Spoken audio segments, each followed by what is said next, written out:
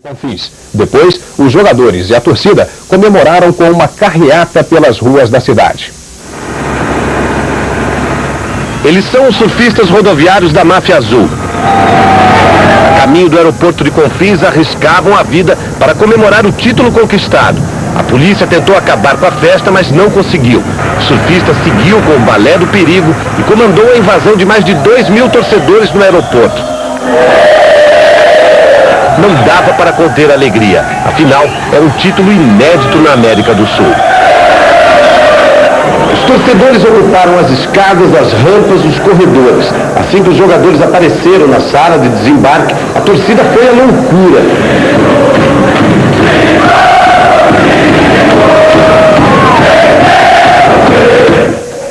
Boiadeiro não acreditava no que via.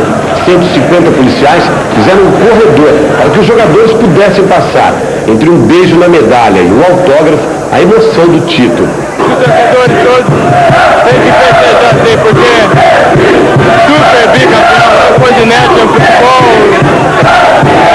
tem que festejar junto. Do aeroporto, os jogadores seguiram de ônibus até a Lagoa da Pampulha e passaram para um carro do Corpo de Bombeiros. Os atletas eram festejados por todas as avenidas onde passaram. A maior festa para os jogadores do Cruzeiro aconteceu aqui na Avenida Afonso Pena. Assim que o carro de bombeiros chegou, o trânsito foi interditado e as pessoas tomaram toda a avenida. A chuva de papel picado acompanhou o time do Cruzeiro até a prefeitura. Os jogadores foram homenageados pelo prefeito Eduardo Azeredo, que até carregou a taça do Bi.